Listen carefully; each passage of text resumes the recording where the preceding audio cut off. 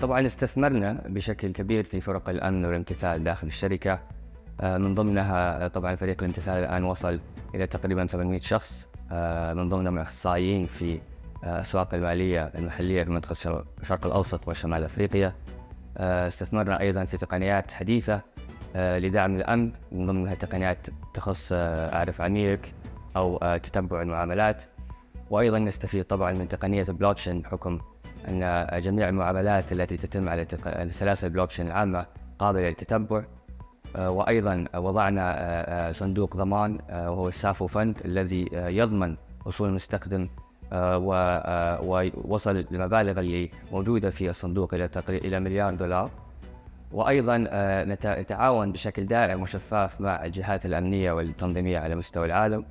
فمثلا في عام 2022 تلقينا 47 ألف طلب من آه، جهات أمنية حول العالم. آه، وتم الرد على تلك الطلبات خلال تقريبا ثلاث أيام كمعدل. وطبعا هذا أثر بشكل كبير من آه، المؤسسات المالية التقليدية التي قد تأخذ أشهر للرد على تلك الطلبات.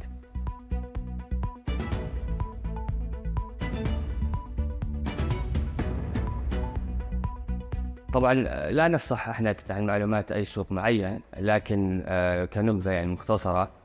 مقارنة بالربع الرابع من 22 والربع الأول من 23 رأينا في منطقة الشرق الأوسط وشمال أفريقيا نمو ب 138% من ناحية نسبة التداول.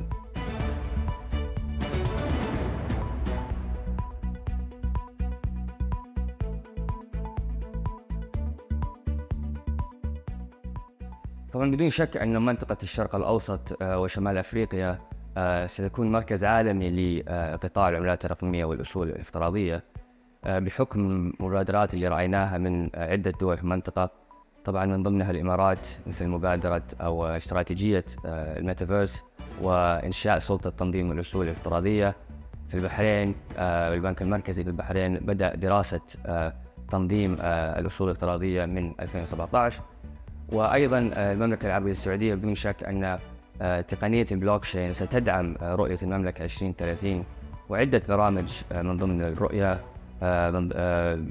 مثل برنامج الإسكان برنامج تحول القطاع المالي برنامج الموارد البشرية وغيرها من برامج أخرى تحت مظلة رؤية المملكة 2030